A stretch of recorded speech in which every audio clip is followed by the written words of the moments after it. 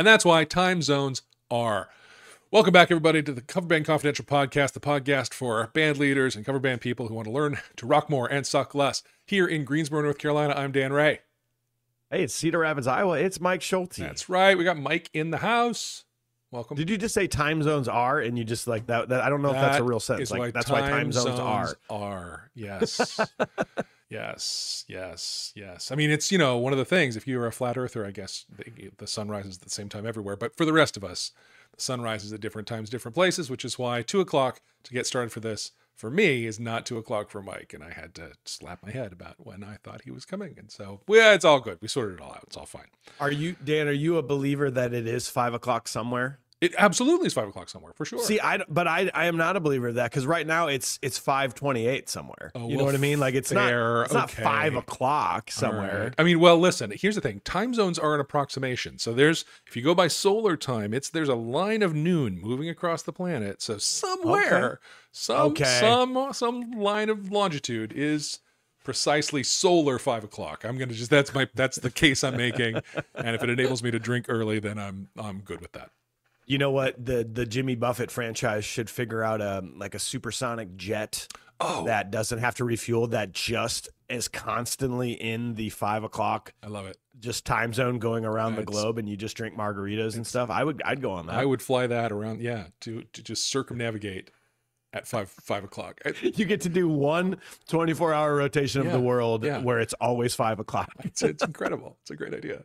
It's a great idea. Is that even Jimmy Buffett? Uh, That's somebody It's else, isn't somebody- it? Five o'clock somewhere. I don't. I Yeah. don't even know. I, I love the idea so much. I don't even care. We, we'll attribute it. It's fine. So should we end the podcast? Are yeah, we good? Done. man? Done. Well done. Thank you. That was our big idea for the week. No. Uh, so listen, we have Mike in this week because, of course, Adam is on vacation with his family. Um, those of you who um, kind of followed what his family went through in the last year, it is um, nothing short of a miracle, frankly, that that whole family's together there and able to be. You know, they went through some medical stuff that was pretty scary and uh, and saw the other side of it. So. Yeah, fantastic. And so while he's off enjoying, I brought in Mr. Mike from the Pork Tornadoes, among other things. How, how's uh, That's good. How's life? It's been man, it's been a while. Every once in a while when I when I run out of podcasts to listen to, you know, like maybe a long drive coming up, I've already exhausted this week's kind of new episodes. Every once in a while, I will go back uh, to visit Cover Band Confidential episodes, and I I like going back to listen to the distraction cast that we used to do back in the day, man. Those were Those are those Yeah. are a lot of fun. they were fun and much needed at the time. Yeah, But it's been a while since I've been on here. Thanks for having me. yeah, yeah, yeah. Always good. We were uh, hopeful you'd be able to join us. I don't know what Adam's going to do next week, but I've already claimed you. So I mean, and, you know, you know, you can probably come up with another whole hours worth of content, but uh, Adam likes doing solo episodes. that's true. That's true. I've done some of those. I, I I don't know. I like the back and forth. Yeah, back and forth's nice. Yeah, it's it's really nice uh, with Confused Breakfast with our podcast Yes. having three of us, and I think we get a lot of complaints that are, are like compliments that man, it just flows. It's it's because I just at any point you don't have something or you're you're lacking some content for that, somebody else is right in it. Right. So having two or three is pretty crucial for Yeah. stuff like this. Yeah, even you know, Adam and I agree on ninety percent of the things that we talk about, so we we end up kind of being a echo chamber. But um, but even if we weren't, you know, it's good to have the back and forth and and and differing ideas sometimes. Exactly. Yeah. Well, listen. Speaking of feedback, I want to just thank everybody who reached out to us about the last episode. The last episode was about band leader burnout and that whole experience of like, oh my god, I got a show in two weeks and I just can't. Um, I really uh, appreciate how much that appeared to have touched a nerve with folks, and how much our admitting to that experience seems to have really uh, uh, uh, been appreciated by people. Really, a lot of just so many comments like, "Oh my God, me too. Thank you for saying it." Kind of all, all of that world, and and uh, yeah, thanks for saying thanks for saying it back. You're welcome. Obviously, it's, it's what it's what we're here for. it's nice to it's nice to just know that you're not alone which is why i think it's so important just to talk about things and Yeah. having a slack thread like that with this group is just to be like hey man like i'm feeling this has anybody else felt this before and just to know someone else has gone through what you've gone through is such a such a, it almost makes you feel better just to know Yeah. that someone else has felt this weird misery that you're in but i did put a poll up i don't know if you saw that i asked i wanted to know what the demographics of the group were uh, you know, whether they were uh, a true band leader, whether they were just that that hired gun who just shows up and plays, or if they were in a democratic union of equal partners. And it's um it's interesting because you have uh almost 50% of the people in there are band leaders Yeah. in that group. Yep. Uh, with the remaining percentage, remaining 40 ish percent being Democratic unions, and then only a couple hired guns, which makes sense because I don't know what you what you would care about the things you're saying there and what we're saying in the group if you're just a guy that shows up and plays, right? Yeah.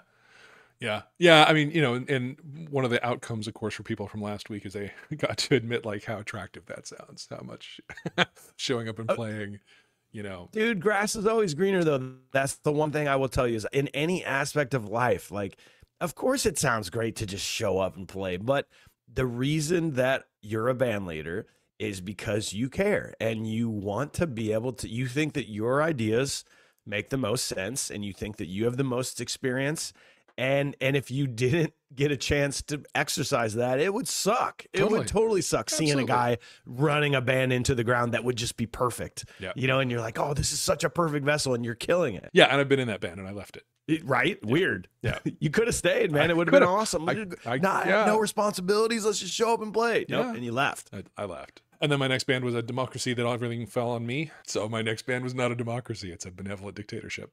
That's how that you, you tend to find that there are people in democracies, but they're not. Not. I think Josh uh, from Rising Phoenix is like, well, it's not really, but it kind of is. right. Right. Right. Yeah. No, I'm I'm I'm open to everyone's input. I want to do what everyone thinks is the right thing. Certainly, you know, I got lots of experienced folks in my group who played for a lot of folks for a lot of years and done a lot of things. Um, and I'm driving the bus. Uh, and I, Yeah. you know, we'll we'll we'll have a little straw poll about where the bus ought to go, but I'm driving. That- I, I think that's a great way because if you don't truthfully have like the equal partnership where where it truthfully is, Yeah. then that's a great way to do it to where at least everybody's got to say. Yeah. And at least, and because I'm sure there's been times where your members have said, Have you thought about this? And you'd be like, Ah, no, actually, I didn't All- think about that. That's a great idea. Yeah, all the time, all the time. And Yeah. they've also said, Have you thought about this? And you'd be like, Yeah, terrible idea. Yeah, you yeah, know, like, yeah. Or, or I did. That'd probably work. It's just not what we're doing. yeah, yeah, we're not doing that. Yeah. Cool. Well, speaking of, we are uh, getting awful close to this date on November 2nd, which will be the first outing of Big in the 80s. Um, this week, the uh, the move was to take our big list of, of Learn It songs, the work list, and turn it into a designed set experience and um, and whack out of it several of the ones that just aren't going to make it. We knew that we knew we knew we were being, being ambitious with the list. We knew there were some that were challenges to get together. We knew the sheer number of them was going to be a lot for the time we had. So there were some that just aren't going to happen. Much as it kills me, Take on Me is not going to make it. The the the pace of it and just the the the way we're doing it, it's live drum, live bass, all track, and me singing. Yeah. And so like that's just a whole lot for my bassist to carry. Uh melodically, he's he he's and the, the it's faster than you think. That song moves. And so Oh, it does. What's BPM on that roughly? oh, I don't I don't I don't know in front of me, but If fa- faster it, when, like, when you when you start the cl- when you start the track, it's faster than you think. No matter even if you thought, "Oh, this song's faster than I think." It's still faster than you think when the track gets going. So, I bet it's like 180, 190 It's if you're double be. timing it. It's got to be. Yeah, yeah, yeah. So we've been struggling to keep up with that, and you know, we're three players who haven't played with Click in a really long time, and so we're getting getting the chops back up with that, and that's it's working. Here's what I discovered, uh, you know, and I've, I've shared a little bit about the evolution of the tracks I've been building because. You know, the click was a little low, or the click was high enough, but the cues weren't audible, or something. So I EQ'd a bunch of mid range into them to make them cut a little better. And then I realized in my mixer, I got extra headroom in the compression. So I like Ah. squashed them way flat in the compressor and brought them way up with the makeup gain. And boy, they just jump right out at you now. It's like the the the click is being hit with a like being hit with a ball peen hammer. It's like Ah, you're blink, you're blinking Yeah, every time yeah, it goes yeah, off. Exactly, exactly, exactly. But I- That's inter- it was an interesting thing to hear. Oh, sorry. Go ahead, man. Oh, I was going to say, uh, feeding that mix into the Maestro DMX, which is driving the lights now. Boy, it is just, it's got every beat. It's right on sync. It's doing amazing things with the lights just because it hears the click. It knows where it is in time. It's not trying to figure that out from drums that are a little buried in the mix or something. Right, So, right. Or Really, dynamics like the light hits, loud hits, kind of totally, totally. Yeah, yeah.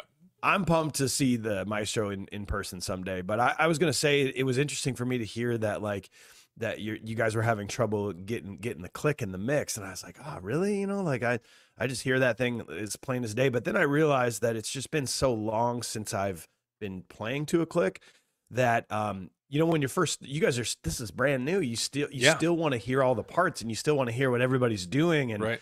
I my mix right now is just literally drums, click, cues, and a little bit of track, and then I don't I don't have very barely any vocals, Mm. barely any guitar.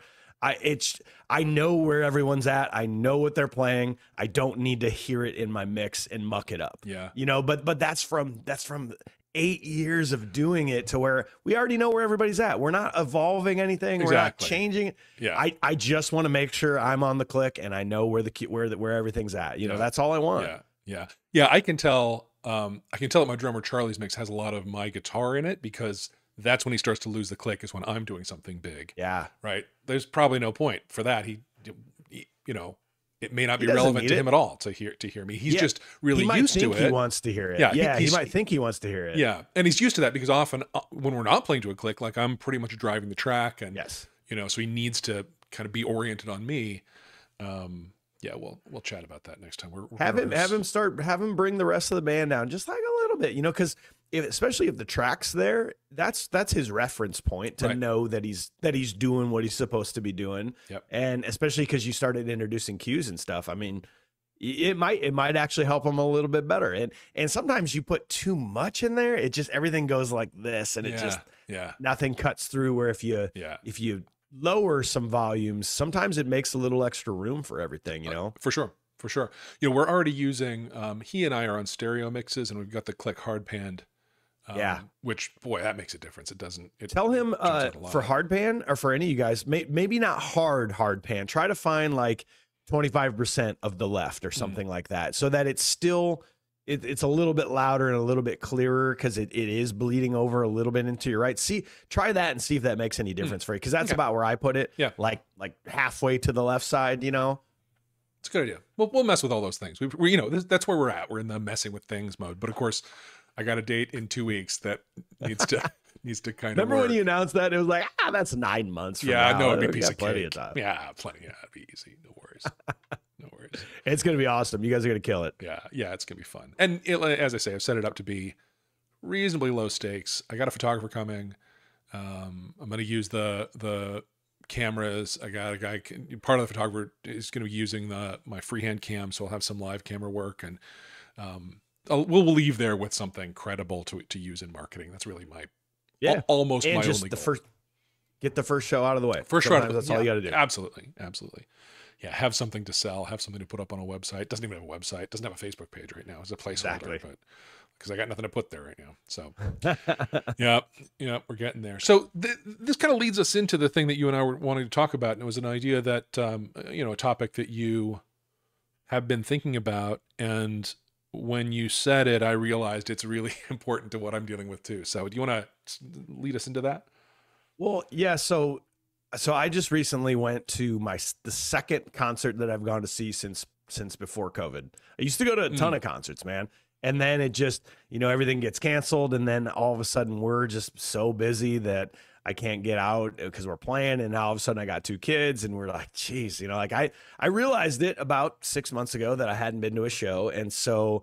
I, I bought two I bought two tickets. I went to see Sleep Token uh, in Des Moines at this brand new like vi- uh, what's the um what's the ticket monopoly place like the Live Nation. Live it's a new Live Nation venue. It's like eighty billion dollars, and it's the it was the greatest uh, concert experience I've ever had in my Mm. life. Just the the sound, the lights, the the brand new venue built from the ground up for crowd and for crowd purposes. You know, I mean, everything about it was so pleasant.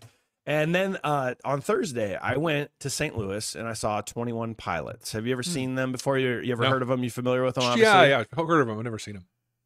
They're a band that, much like, um, you know, I like to think I know my music, uh, but there's been a few bands over the years that I've been late to the game. You know, I've, I felt like I maybe I slept on. Mac, Mac Miller was one for Mm. me. Uh, I was like, ah, Mac Miller, whatever. Like he's not any good. And then when I actually heard Mac Miller, I was like, oh no, I I give me everything, feed Right. it into my veins. Right. I want him. Right. And the same thing happened to me with 21 Pilots because we started playing Ride maybe like three, two and a half years ago.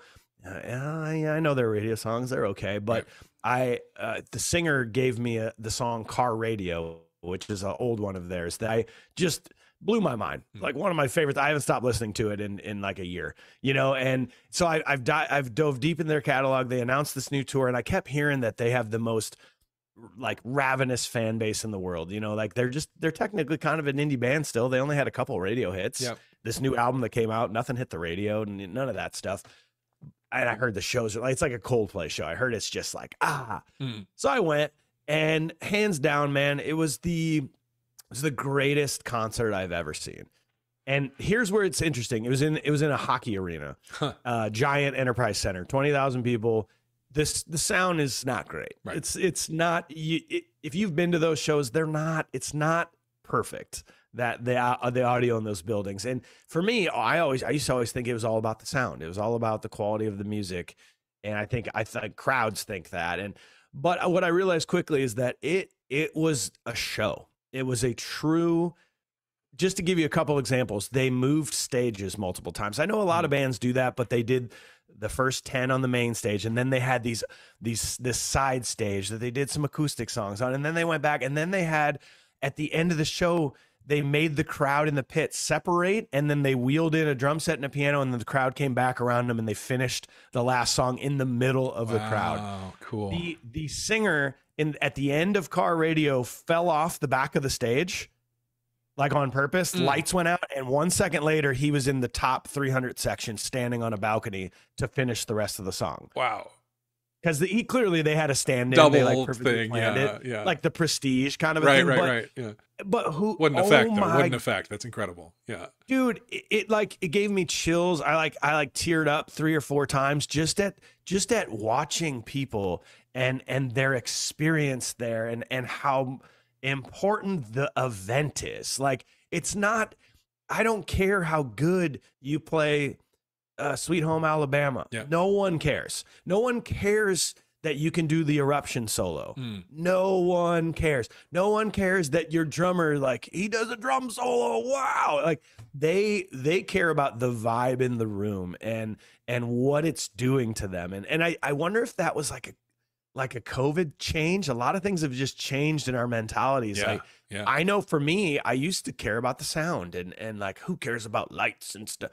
No, I I like I got chills just at every aspect of it, and it really it it put me in my place to know that we were that we're going the right direction, and that Mhm. maybe that's part of what our appeal has been over the last couple years. But I didn't know that we were doing it, and now that I know it, I'm like, oh, uh, like we're we're gonna announce a a, a big Cedar Rapids show here for February. You're damn right. We're gonna have like a, a side stage that's up by the by the mix, and we're gonna figure out a way to do that. Yeah. Like, cause I I just I want to do it, man. And I think I think you gotta if you're out there in any sort of this world of cover bands and tributes, like it's not about the music as much as we want it to be. It's it's not about how good of a player you are, or I think it's just about what atmosphere you can create at at your events, man. And I I wonder if that's the trend, if that's where we're going, and if we should be thinking about that as band leaders. You know, Yeah. yeah. It's interesting. There, there are a few different sort of aspects to what you described that that that struck me. That like that magic trick, right? You know, what you'd call that in terms of showmanship is just spectacle, right? Like Yeah. that's just people people are there for that. You know, la- last show that I saw that was like a tier massive production that that was really impressive from a technical perspective was Roger Waters because there were yeah, you know screens and videos and stuff flying in from all the sides and all down you know at, at one point the the room was like cut in thirds by screens that were lowered down the long way you know a, a- a- perpendicular to the stage with projections happening all across them. And it's just it was so much bigger than you know Roger in a t-shirt playing a bass you know? Thank god because that's not much to look at. Um and so yeah I, think i think there is something to like that.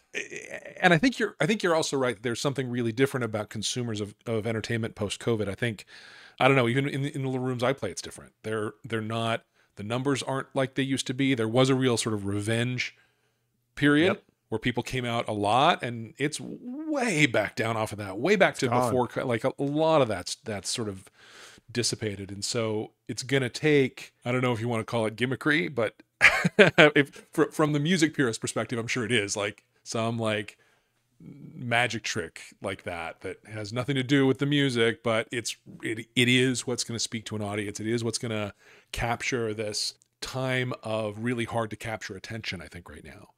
Um Well, and Dan, I think you're in the right mind frame here because I I also think that the cream of the crop is is improving and and Mm. putting in money and putting in time to the show Yeah. and and these these regional acts that you see these huge tour- you know, like Yacht Rock Revue type bands where they're like no no we're we're a national band we're just we're a cover band but we're we're just doing it better than everyone else i think that locally for all of us there are the bands that are going they're just taking the bar and they're raising it and raising it and raising it Yeah. to where people are now starting to expect that from everyone Right. And the fact that you are f- finally going to like the clicks and the and the massive tracks nobody nobody cares man. It, it in fact it enhances the so i was trying my hardest to figure out how he did that trick like when the switch happened. Right. this song was the fourth song of the show and I, I i can almost tell you with guarantee he was out there for the first three and then lights went down after the third stunt double came up and then that means that his and his voice was all tracked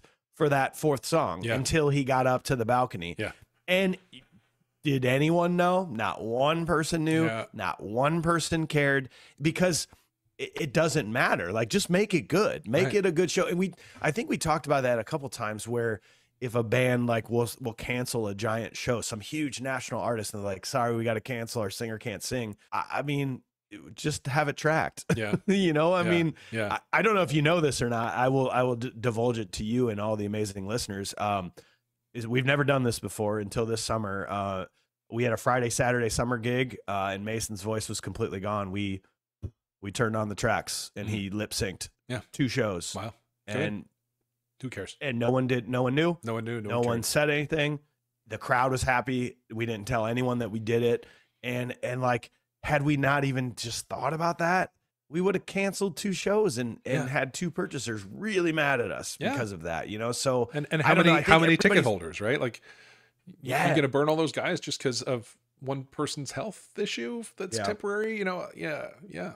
and this is sliding off into a whole, a whole nother tangent but but what i'm trying to say is like you gotta you gotta you gotta be prepared to be this just entertainment Right. juggernaut that controls the room and Right, i, I right. i'm really excited for your new project because i think you are thinking about it that way you're thinking about it band intros transitions from song to song they did these blocks where they would go like four songs in a row and instead of just stopping the song and then five seconds later next song starts they would they created like little five second transitions where Mhm. tempo changed and then boom next song and that's got me thinking like okay hey instead of that five second pause to load the next jam like let's just figure out how it's a how Yeah. it's a straight through for five songs you yeah, know yeah. I've been thinking hard about that too. You know, I realized that in um, I'm I'm driving playback out of BandHelper, and there's a config that you can switch that it will keep it will keep playing the track it's playing even if you move songs, right? So I can I can move to the next chart and leave the audio playing before, which means I could load up four or five in a row,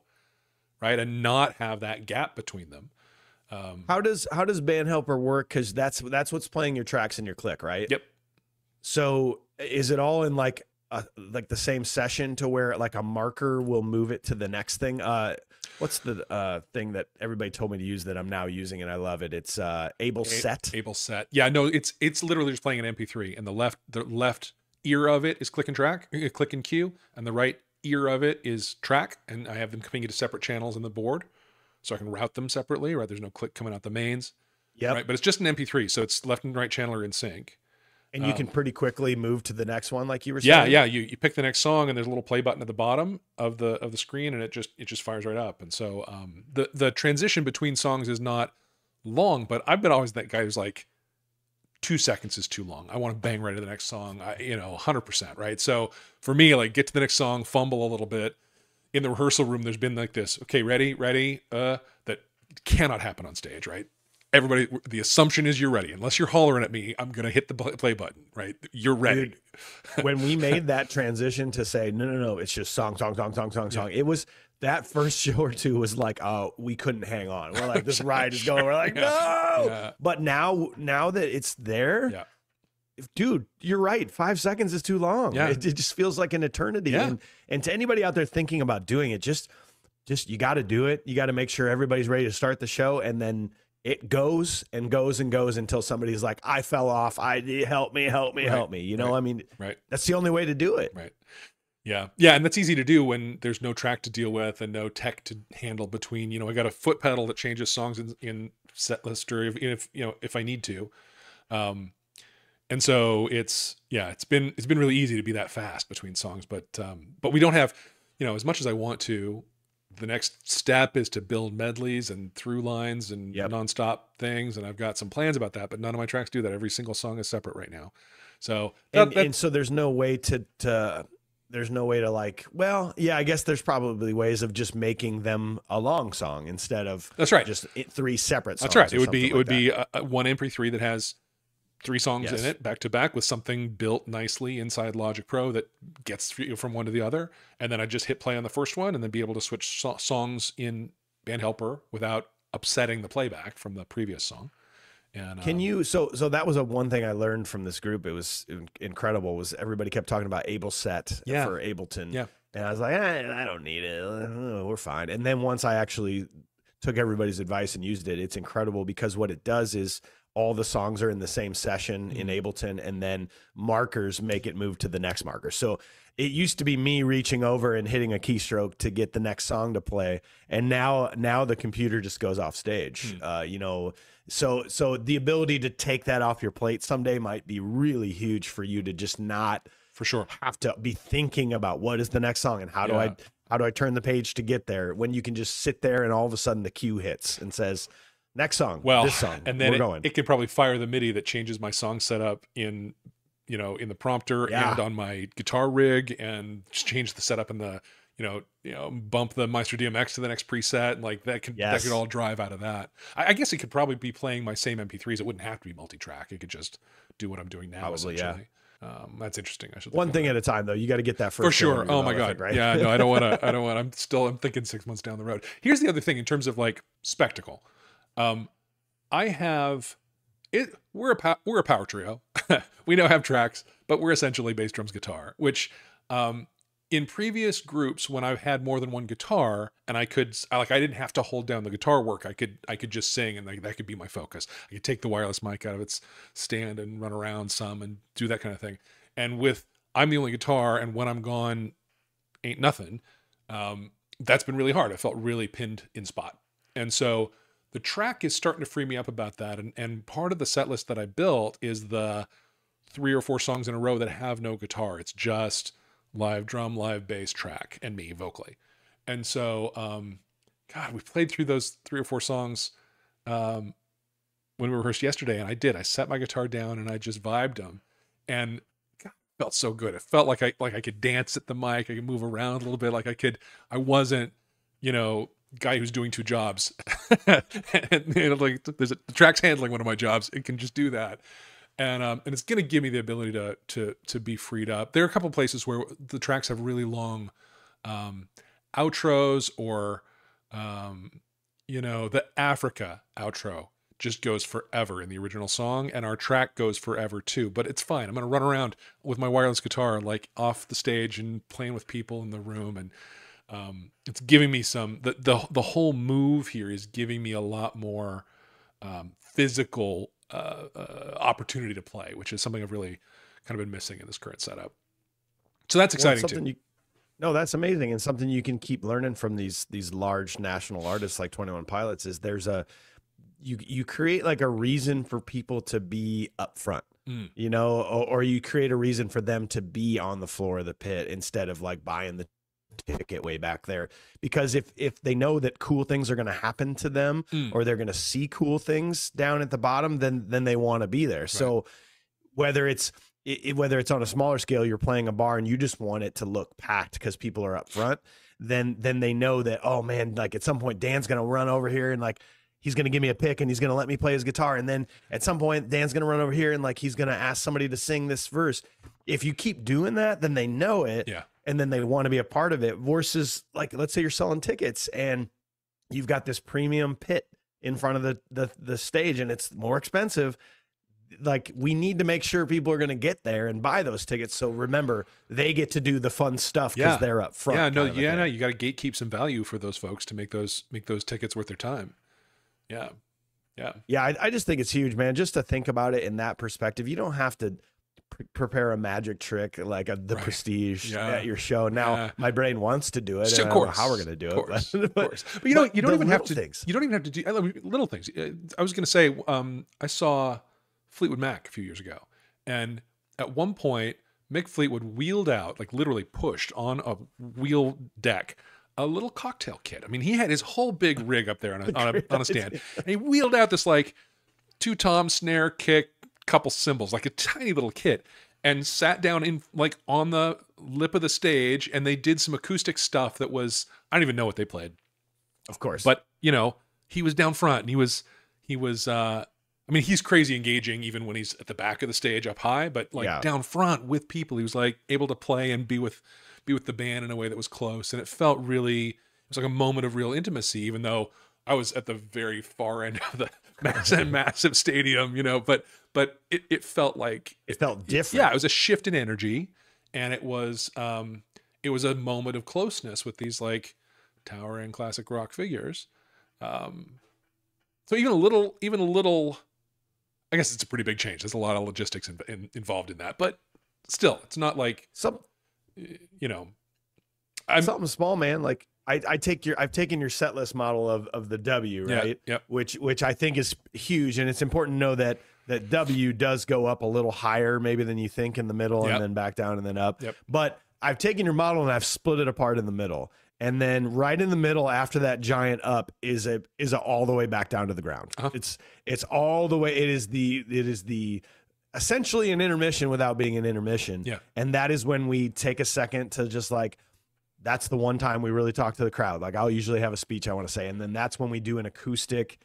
Mason and Jerry do like an acoustic version of a song. We bring we bring it all the way back down. That is that has been our new model. Is taking your W, but like after that backup, boom, you're Yeah, it- crush it. it- it's a good way Yeah. to think of instead of taking that intermission, don't don't take the intermission. Don't give anybody a chance to leave Right. but you still need to have everybody have a little break in the middle. So doing that, that that slowed up acoustic version of something, or bringing the cocktail kit out, or you know, like there's a lot of ways to give everybody a quick break, but still keep the show going. And I think I think that's what people want now is they don't want to go see the band that's going to play for four hours and has the the two breaks and you know that they're they're off for 30 minutes smoking outside. It's like no, just play the play for two and a half hours and call good. Yeah, and if you can throw a magic trick in there, all the better. Just wait. all the better. We're we're all in the scoop for a reason. Our brains are like, I can, Oh, we can do that. Yeah, big- Just wait big- till you figure out what I'm gonna. I don't know what it is yet, but I'm gonna figure it out Yeah, someday. yeah. I mean, I'm thinking hard about costume changes and stuff. I'm going to be Yeah. for this one. I've got my Don Johnson white linen suit that I'm going to wear for it, so we'll be we'll be set there. I think um, I think Ben, my bass player, um, he already had like an Inigo Montoya costume, so I think he's going there. I don't know what Charlie's going to do, but I hope it's great. Uh, I'm sure it will be. well, and this is technically maybe a Halloween show, right? Like, Yes, yeah, yeah. It's a Saturday after Halloween. Okay. and it's. I'm not sure Halloween stuff's really happening on that day. I think that I think we may not lean as hard into Halloween as a theme, but but yeah, costumes, and that's how we'll be. We're we're going to be an '80s tribute, and again, the concept is like, it's not the '80s now.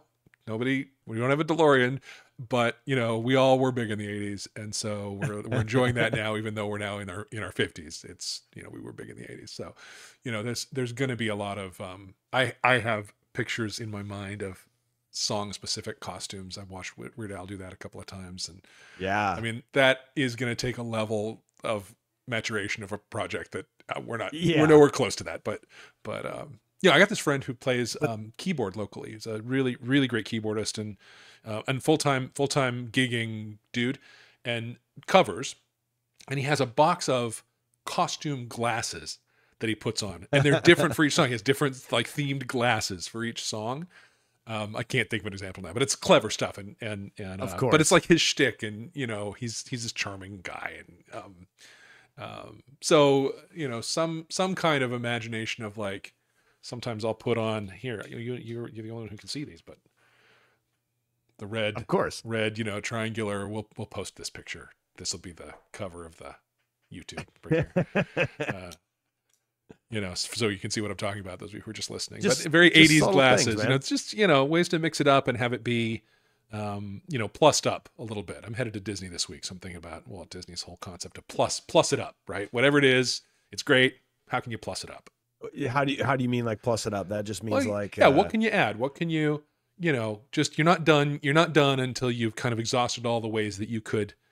Okay, good, but what about like all the the next step of something? Just constantly That's- thinking about how to. It was Walt Disney's term, plus it up. I think that's what we're what we're talking about. That's what we're talking man, about. is just never never being complacent and just like yeah, here we found the perfect set list. Here it is. Yeah. You know, this is what we do. Yeah. It's like, well, no, can we Yeah. can we change this up? Can we can we add a cool fun thing that we do here? Yeah. And I, I think that's exactly what we're talking about. Yeah, yeah. Because I'll tell you that you know I've I've also played in a band where we really had it dialed in and we were doing the same thing every night, and before long it was miserable. We were not we were not happy people, right? we we are considering we finally got to the point where you know where our show our contracts are now for about two anywhere from two two hours to two hours and 30 minutes for Mhm. our show we're to the point where now when we add these new four to five new songs that we're already talking about adding this fall we're we can pretty much have a completely alternate set Mm. uh so I think I don't know how I'm going to do it yet, but I want to make t- known that you'll never hear the same set list from the Pork Tornadoes That's great. That's great. you know, so I just don't know how I'm going to say it, but I, I want that to be a thing that you know. Well, If you saw us in March, you're not going to hear the same set list in May yeah, or whatever. you yeah, know? and you know it's part of the part of the lore of like the dead. It's like passing around like, oh, they played this one there, and it was a whole thing. And you hear them play? You know, whatever. Uh, I don't even know the Dead's Yeah. catalog well enough Yeah, to cite a song title. I, I could if I thought Casey for a minute. Casey Jones. Oh my god! But yeah, but how they did that at Red Rocks was so great. oh, it was way better. Red Rocks, you Uh, missed it, man. yeah, yeah, you it's- can't miss the next show because they might do it again. That's right. Yeah, exactly. No, that's that's the hype of it, right? So that that'd be a thing to lean into. Like, you know, you missed the show. Well, you missed the show, but don't miss the next one. Correct. Yeah. And and a lot of people keep yelling like the, the old old fans. They keep being like, ah, play play that song you used to play all the way back in the day, and we haven't played it in ten years. But it's like, okay, maybe it is time to Yeah. to bring that song back. Yeah. Uh, and so maybe they'll just be a part of the show that is uh, two songs in the middle that is just like we haven't played these in ten years, and here they are. here you they know, are. Yeah, that's fun. I mean, it's it'll and, be fun, man. and you it's got- always thinking about different stuff. Yeah, yep. That's the move. All right. Anything else for you about that? Shoot, no, man. I'm I'm already tired thinking about all the work I'm gonna have to put in to I figure out magic tricks and I stuff. know. you know, No, this is the this is the problem with talking with you, my friend. Is I, I leave it with so many new ideas, and I'm like, oh, I'm just buzzing all of a sudden. Yeah, take it for what it's worth. For every hundred ideas I have, maybe one of them pans out. So yeah. Well, I mean, it's a numbers game, but it's you know, you know, you got you got to have you got to have the numbers to play the game. It's the point. yep, you do. Yeah. It's like playing the lottery. You know, you got to do it enough times, right. have enough tickets to maybe have a chance to win. Yeah. Yeah. Exactly. Well, it was good. I'm glad you had me, man. It was a good, good convo. Yeah. Hope, hope Adam's enjoying his vacation. Yes, yes. Uh, and then you got, you're going to be out at Disney by the time this comes out, just will living it up. partying partying with the mouse. All right. Well, Michael, as always, a pleasure. Thank you so much for being here, being our bud, being the you know you know a source of such uh, great ideas and wisdom. Always happy to be here, man. All right. You have been listening to the Cover Band Confidential podcast for the week of Friday, October 18th. Everybody have a great week. Bye.